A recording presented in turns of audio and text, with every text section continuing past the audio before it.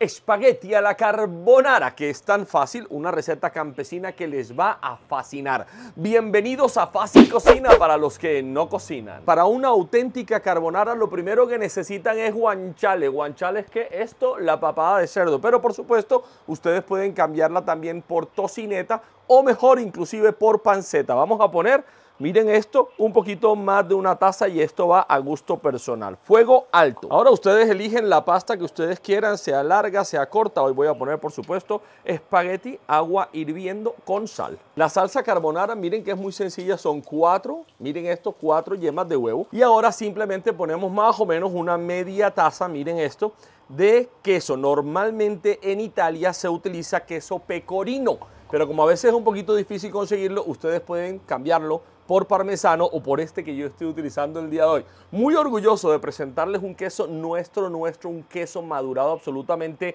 divino, que es el de mi familia alpina. Miren esto, ya muchos de ustedes lo conocen, es el queso sopó que ahora sacaron esta presentación rayadito. Carbonara, así que tiene que llevar buena pimienta fresca, miren.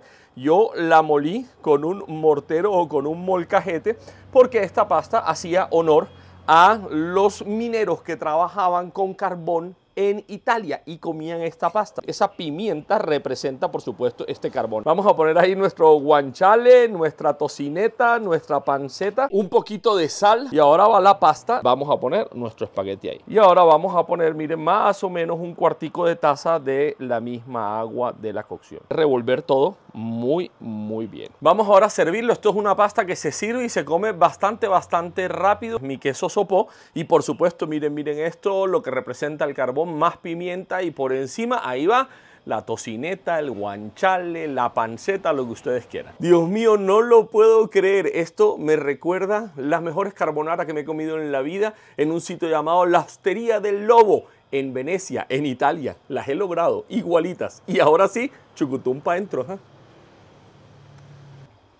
Y esto fue Fácil Cocina para los que no cocinan de Tulio Recomienda.